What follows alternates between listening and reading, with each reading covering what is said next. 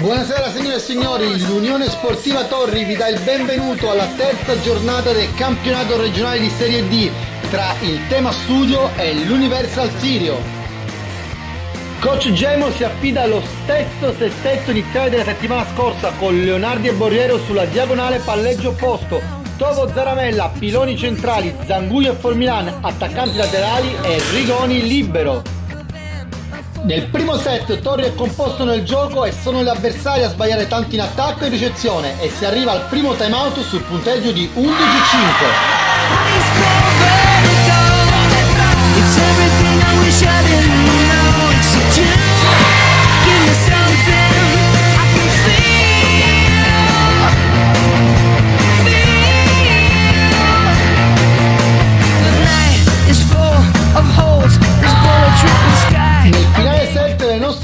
Sono perfette a muro in attacco e si aggiudicano facilmente la frazione.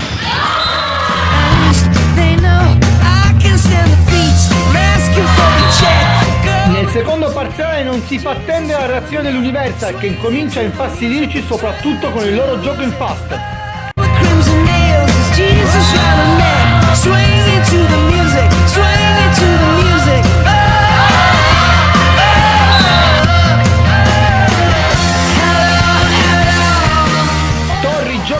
Centro ma sbaglia troppo in battuta e si viaggia punto a punto fino al 13 Il tema studio dopo il timeout riordina le idee, effettua il break decisivo grazie a un ottimo lavoro muro difesa.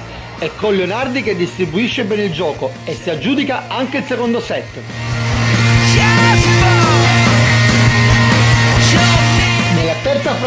Entra Bonato e le biancoverti partono subito fortissimo, martellando già dal servizio. Il recupero dell'avversario è imminente a causa della poca lucidità in attacco, ma è ancora una volta Zaramella a riportare avanti il Toro. Ma nel finale del set le biancoverdi perdono di lucidità in attacco e cedono la frazione alle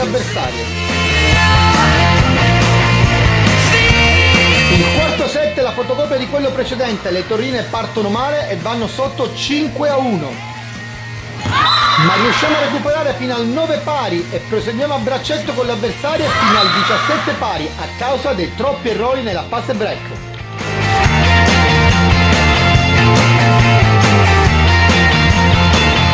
Il tema studio effettua un bow break portandosi sul 20-17 ma subisce subito la rimonta dell'Universal a causa della troppa premura nel voltino del punto e cediamo anche la quarta frazione. Comincia il tie break e si capisce subito che le biancoverdi vogliono portare a casa la vittoria.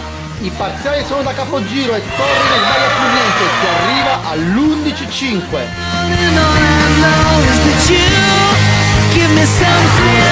Torri campo la paura di vincere e le torrine incominciano a sbagliare qualche colpo di.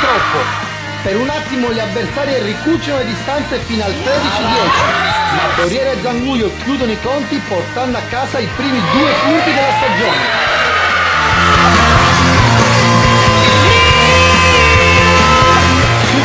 Delle ragazze vi diamo appuntamento a sabato prossimo alle ore 21 a Rovigo contro la Bang Rovigo.